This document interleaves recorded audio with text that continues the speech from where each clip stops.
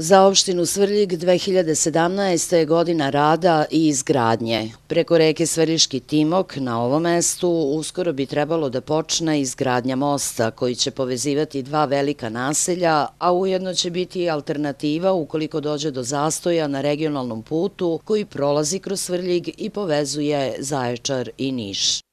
To je, da kažem, 500 metara od ovog starog mosta, ali svakako će biti savremeni i moći će da izdrži veći teret i teretnjaci će moći bez problema i rizika da, da prolaze taj most. Bila je nezgodna situacija do sada da imamo samo jedan most i u slučaju da bude neki zastoj, onda imamo velike kolone vozila, ovako ćemo svakako povećati uh, mogućnosti putnicima koji prolaze kroz Svrljig da koriste i taj, da kažem, alternativni most i da budu da imaju više mogućnosti za druge vrste transporta kroz Svrljig.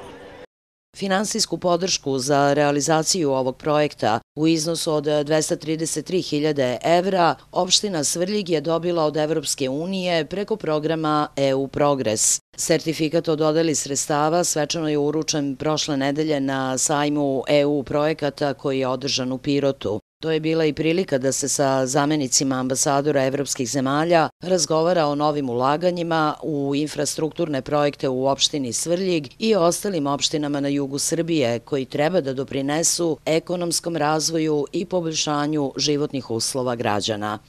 To su namenska sredstva iz Evropskog fonda Progres, Mi ćemo ta sredstva upotrebiti, kao što ste rekli, za izgradnju mosta. Taj most će biti alternativna ruta za ljude koji dođu i prolaze kroz Svrljiga, idu tamo ka Kladovu i dakle, Timočkoj krajini.